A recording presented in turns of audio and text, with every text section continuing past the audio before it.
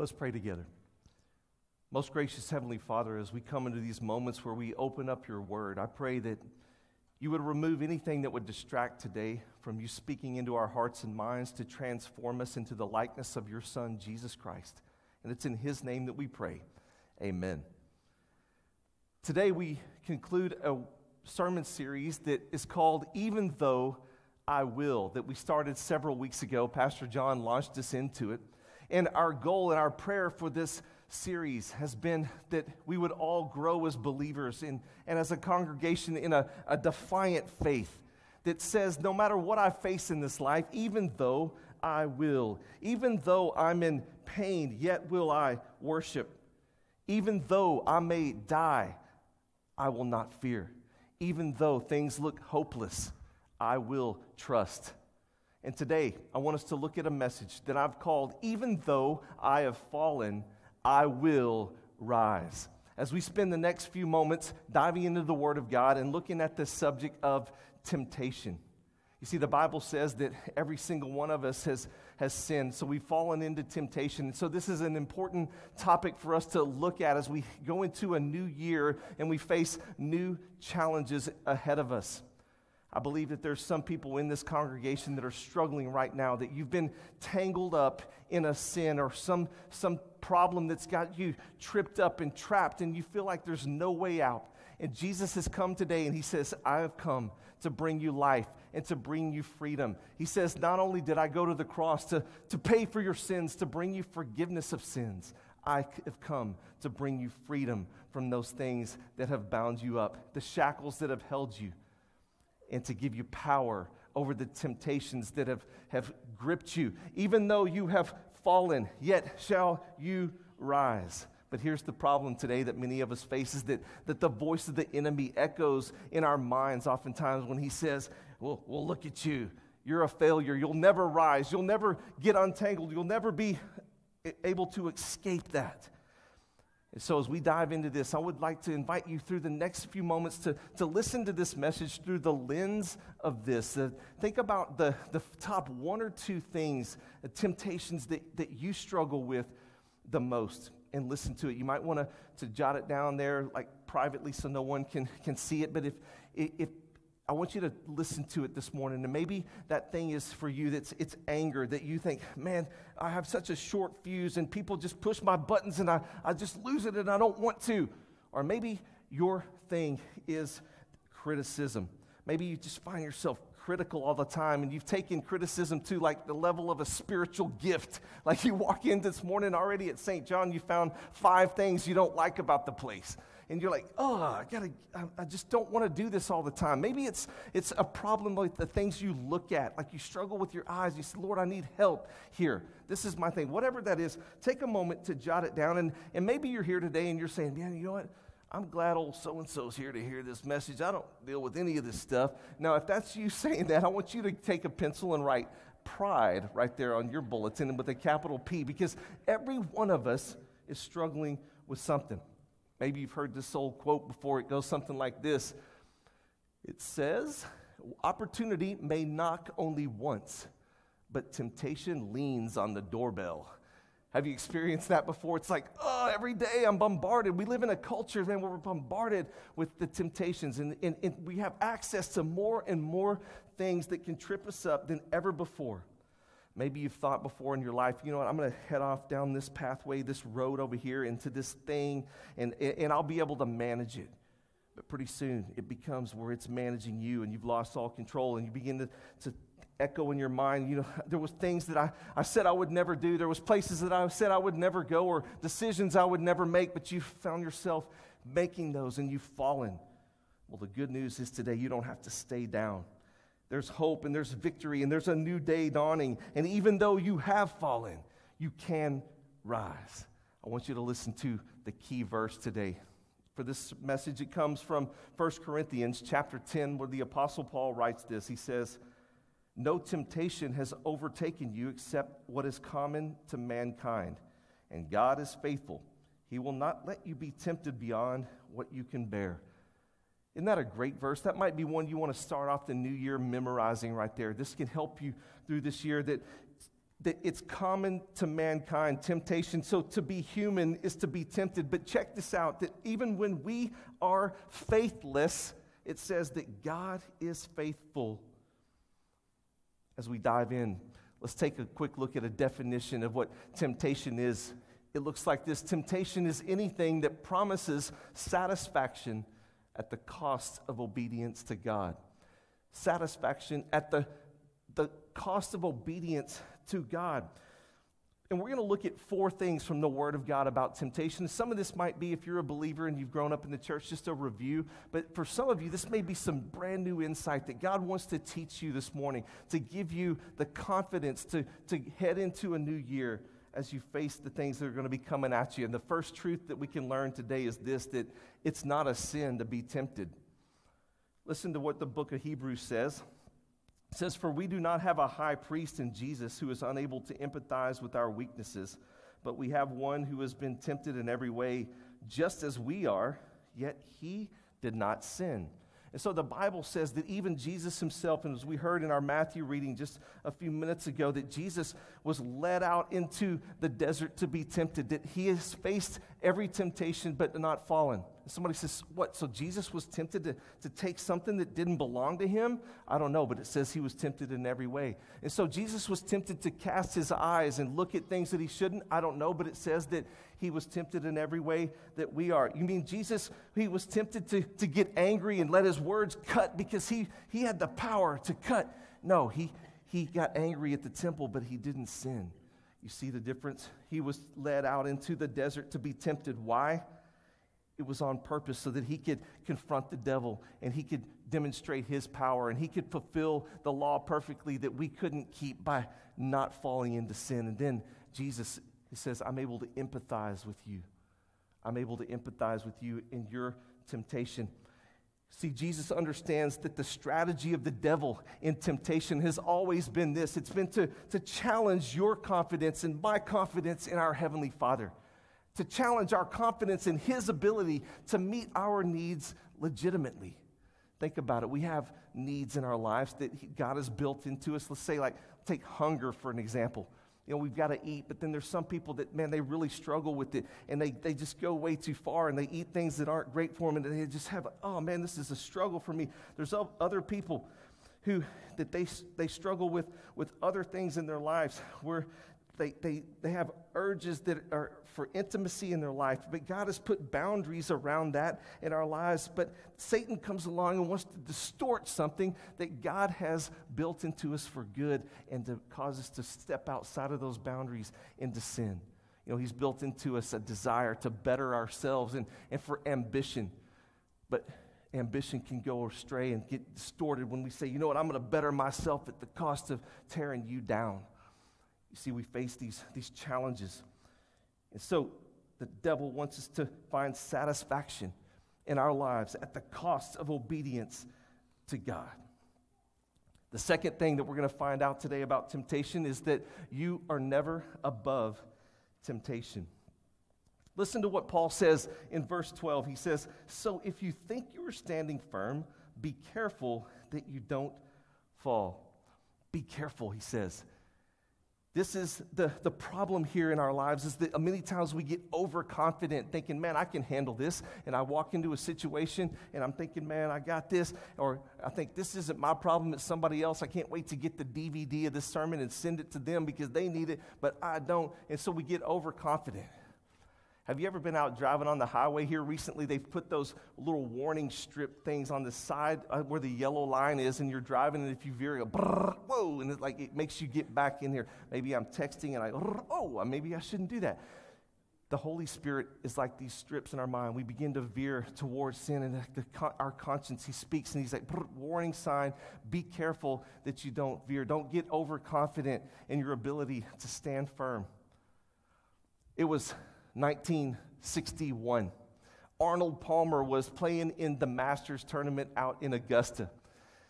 It was a great tournament, and it was the final day of the tournament, Sunday. Arnold Palmer found himself in the final group. He was one stroke ahead, heading into the last hole of the tournament. He just needed to shoot a par four, and he would come home with the championship. He stepped up to the 18th, man. He like feeling the groove. Beautiful tee shot. It's down in the fairway, and he was walking to his second shot. And he recounted this story later. He was going toward his ball, and he looked over on the ropes. One of his friends was like, Arnold, come here. Arnold, come over here. And he, he broke his concentration. He's like, oh, and he goes over, and the guy's like, congratulations, man. Green jacket, the trophy, it's almost yours. And he said, at that moment, I began to think about what it would feel like to slide that coat on and, and all the accolades I was going to get. And he goes, I broke my concentration. I wasn't even thinking. I got up to my second shot. I'm thinking about that. And I just flared the shot off, and it landed in the green side bunker. He's like, okay, I got this. I can do this. There he is in the bunker. This is the actual shot there. He's, he does a shot out of the bunker. It flies the green and goes off to the other side. And now to four, he was going to have to put this ball now in the hole. Well, he, he puts it and it goes past the hole. And now he has to put another putt back just to tie it up to go to a playoff. And he missed that one. And he scored a six on this hole. And he ends up losing the Masters when it was that close. He said, I got overconfident. I took my eye off of what I was supposed to be concentrating on. Jesus says today, you were never above temptation. Be careful that you don't fall. Next thing is this God will never tempt you. Some people say, hey, Jet, God's tempting me. I say, no, God might test you, but He's not tempting you. I was like, why would He put me in a room alone with all of the money from the raffle from my kids' class, and I had it all there, and I'm counting it by myself, and, and it was so, and I just, I, am the, I've been putting in so much work for this, and I'm the class mom, and, and I just wanted to treat myself to something, and I just felt that, and God was tempting me, and it says, and, and no, listen to what the Bible says in James chapter 1. When tempted, no one should say, God is tempting me, for God cannot be tempted by evil, nor does he tempt anyone. But each person is tempted when they are dragged away by their own evil desires and enticed. What's the origin of temptation? He says it's our own desires, fueled by three things that the Bible says the devil, the world, and our flesh. And the world is not just the planet Earth, it's our culture that we live in. The society is tempting us into our evil desires. God doesn't tempt, but he might test you. Think back to the Old Testament when he tested Abraham. He said, I want you to take your son up on the mountain and sacrifice him to me. Why would God ask him to do that? It wasn't to tempt him into sin, but it was to test his trust, to test his faith, to, to put Abraham through the crucible of, of faith, to purify his trust and confidence. And maybe God has you in a situation like that today that you're saying, I don't know why I'm here.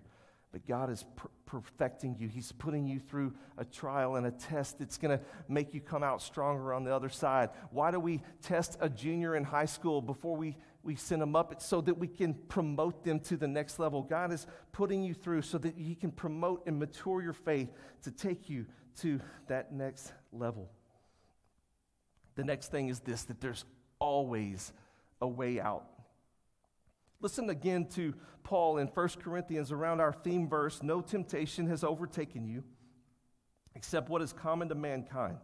And God is faithful. He will not let you be tempted beyond what you can bear. And then listen to this. But when you are tempted, He will also provide a way out so that you can endure it. A way out. I like to, to say this phrase like this right here Every temptation is an invitation to trust in Christ. Isn't that great? Let's say that together as a church right now. Every temptation is an invitation to trust Christ. He gives you a way out. It's time when you're facing that temptation to, to trust in Him and you say, What will be my way out? I don't know what that looks like for you, but I know in my life that I see ways out all the time when a temptation comes, and it might be in a, in a subtle way. Maybe you've experienced this too. I, sometimes I'm talking to people in a conversation, and I'm, I may be getting riled up, and I want to say something that, that may not be the greatest thing to say, and I'm like, uh, about to, and then this person will like keep talking, or they'll say, or interrupt, or, or somebody will walk in into the conversation, uh, and I'm like, like later I'll look back and go, whoo, Man, that was close. God, I could almost said something that might have been cutting or hurtful or angry, but you stopped it. Thank you. And so, as you open your spiritual eyes and you begin to look around, God is constantly providing you a way out. It could be that you he's saying just get up and leave the situation. Maybe for you it's more complex and you're tangled up in something that you need to go and talk to a counselor with, about and he they, if she can help you get untangled. Maybe it's that you need a, an accountability partner that you can call when you're facing a situation. I know in my ministry and career that there's been times when I've had to pick up the phone and call a pastor, maybe in another town, and just say, hey, would you pray for me right now? I need spiritual support now. And, and maybe you need to do that, that, that God will provide you a way out. When I was growing up in the 80s, we played video games, and they, these weren't like the, the ones that now the 3D and the virtual reality. This was like the 2D. Did anybody play Asteroids, the Atari growing up, man? It was like, uh, and like, so what you were, the spaceship in the middle, the little triangle, and like you put the thrust, zzz, like you fly around, doo, doo, doo, you're like shooting stuff. But you could get flying pretty fast sometimes and like circling through there, and asteroids would be coming. And there was this special button, man, when you were about to get creamed by two asteroids, this button over here called hyperspace. You go, boop, and like all of a sudden your guy would just disappear and reappear on the screen somewhere else. Like just boom, hyperspace you out of there. In our lives, we don't have a, a hyperspace button, but we have hyper grace. We can say, God, I need a way out, and He will provide a way out, and He'll, help you be removed from the situation and get out of there. Hyper grace. Because every temptation is an invitation to trust in Christ. Next, how can we fight? How can we fight temptation? Because here's the truth today, church, that we're in a we're on a battleground over here. We're not on a, a playground. You see, the devil wants us to think we're just in a in a playground over here, but Satan, the enemy, wants to, to cause us to get tripped up, to divide and put a wedge between the Creator and His creation, us, His beautiful children. And he wants to, Satan wants to hurt the heart of God by dividing us. So we need a strategy. We can find that strategy in the Word of God in James chapter 4. It says this Submit yourselves then to God and resist the devil, and he will flee from you. You know, I used to think the first step was just resist the devil, but you can't skip over this first part submit to God. Submit to God. And why would I need that? Is because on my own, I'm not going to last very long in my own strength. I need supernatural help. I need to submit to God. I need to, first of all, acknowledge that, that what I face is powerful and it's sinful, and that, that, that the stakes are, are higher than I even realize right now if I'm were to fall into this thing. But you know, a lot of times we, we justify it, don't we? We justify getting into something like, hey, man, I've worked hard. I, I deserve this. Man, it's not going to hurt anybody else but, but me. Like, nobody else is involved. Like, and we come up with these, and the enemy speaks these justifications into our, our mind to, to, to, say, go ahead and do it. And so I need to submit my mind and say, Holy Spirit, I need your help. Why? Because we're at a war here. And the Bible teaches us in the book of Galatians that there's a battle between our flesh and the Spirit. And our flesh is the old Adam that lives within us. And, and even in our baptism, we've been baptized, and so we're a new creation in Christ, but, but that old Adam is still in there. And Martin Luther used to teach that in our baptism, the old Adam was drowned, but he is a good swimmer. And he comes back day after day. And so we daily need to go back to our baptism and drown him because there's a battle going on in our inward nature. I want you to think about for a second if I were to just drag a pig out here. Man, he's all caked with mud and he stinks really badly and he's got flies everywhere. And like, man, what is this? It's a pig. Well, I say, I go, Steve Hawkins, come get this pig, take him outside, hose him down, go clean this pig up real good. Soap him up, put some cologne on him, put a bow tie on this guy, and bring him back out here. And then we say, what do we have here? Bass player? No, we have still the same okay? He still, if there was a pile of mud or a pit, he would want to jump into it and wallow around. He, he, he, looks different, but on the inside, his, his nature is still to be a pig. And so we battle and we have to submit. And the Apostle Paul says, I, I go to battle to, to beat into submission the old man. And so I say to God, help me as I surrender and submit to you. Renew my mind every day as I come to you, Lord. And the second thing is that we need to then resist the devil and he will flee from you. Up in South Dakota, there was a farmer up there, a guy that he was raising sheep and lambs, and he was having a real problem with these coyotes that were coming around all the time, like decimating his flock. He tried everything, man. He put up some electric fences, fences. He put out like the smelling stuff to keep them away, and nothing was working. And one day he went to a feed store. He's talking to one of his buddies, another farmer, and the guy goes, You need a llama. He's like, What? He goes, No, man, llamas, they have like this instinctive protective thing to, uh, for herds, and they, they are like ruthless. They're, they're, they're like fearless. They will go after it. And he's like, What? So he gets one, he puts it out in his flock, and he's watching one night, and the coyotes begin to circle around. And this llama, man, they are so fearless. Like he goes like this, he goes over here, huh? And he's like walking over, like looking around, and the coyote's like, What? Because the first defense this llama has is he just looks weird, okay? And the coyote's like, Huh? And so then he has this bark. He goes, eh, ah, ah, like some weird thing. And the coyotes are like, and they scatter. But then if they do come, he can spit on like, and then the last thing it says that he, this llama, they are so cool. They, like, you can YouTube these up and watch them. They will turn like this and try to roll an animal over, like, like kick it on its back, and then turn with its front hooves and like, and just try to disembowel this thing. They are fearless. And so, like, this uh, farmer was like, wow, like, this, these coyotes, like they go away. This, they, the llama resists them and they flee. How do we resist temptation and, and cause the devil to flee from us? One of the first things we can do is to eliminate temptation whenever we can and to stay away from it. Just eliminate it beforehand. That's a strategy. Listen to what Solomon, King Solomon, was teaching his, his son in Proverbs chapter 4. He says this to him Do not set foot on the path of the wicked or walk in the way of evildoers. Like, don't even put your toe over there and start to go down it. And then he says this four things. He says, avoid it, do not travel on it, turn from it, and go your way. He has four different things. Just so in case you, you don't get all of them or whatever, avoid it, do not travel on it, turn from it, go your own way. And so if it was a modern dad talking to his son, he might say, Vomino, son it's time to bug out. It's time to get out of Dodge. It's time, run, Forrest, run.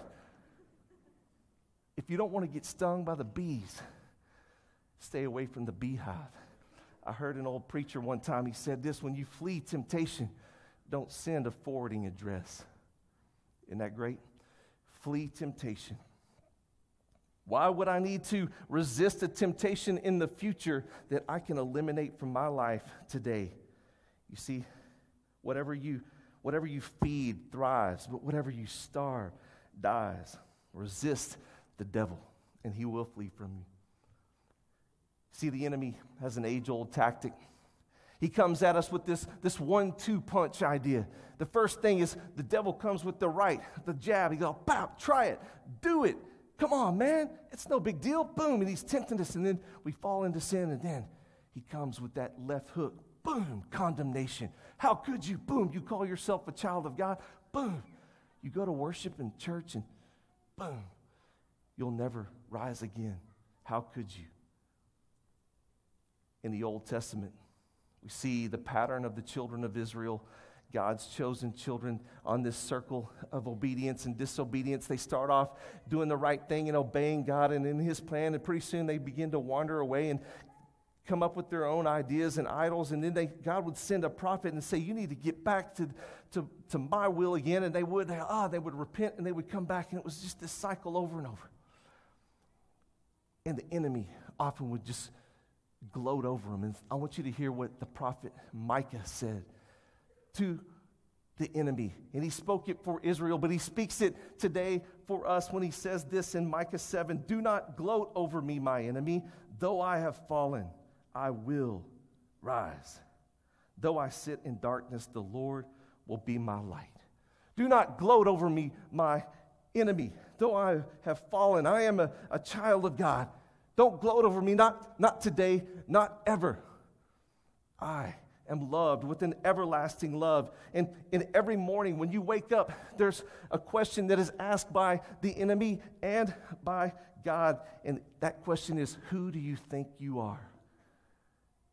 The devil says, Who do you think you are? But God says, Who do you think you are? You're my child. I went to the cross to lay down my life because I love you so much. And even though you have fallen, yet shall you rise. Even though you have fallen, you are connected to a resurrection story. And so today, it's time. He's calling you to embrace your advocate. Embrace your advocate. Jesus is not sitting at the right hand of the Father today with arms crossed, saying, Oh, there he goes again, or there she goes again. I knew it. He's saying, No, I'm interceding for you, and I'm filling you with power, and I'm filling you with hope to rise up. See, Jesus, he was fallen himself.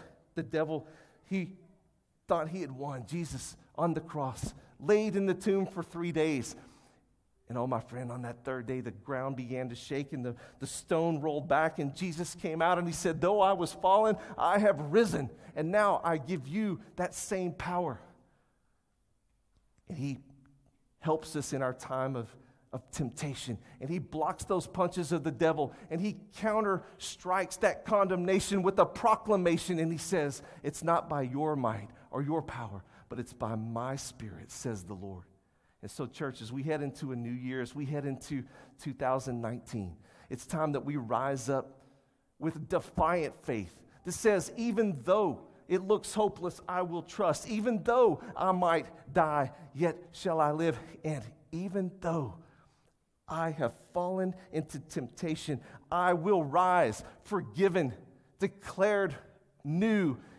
I will no longer be labeled by the old, but now I have risen because even though I have fallen, I will rise. Say that with me right now. Though I have fallen, I will rise. Thank the Lord Jesus Christ. By his power and by his stripes we are healed. Though we have fallen, yet I will rise. Let's pray together. Jesus, thank you that you bring victory and hope to us today, that we've been tangled up and we've been shackled to things of this world. But God, today you are bringing freedom all across this room. Heavenly Father, for the first time, you are stirring in hearts today, creating and igniting faith in someone. And so draw them to yourself, Lord. Draw them to receive your love and your grace and your strength and your power to go from this place to live with their heads held high. Thank you, God, that though we have fallen, we will rise and be with you for all of eternity. And it's in your name we pray. Amen.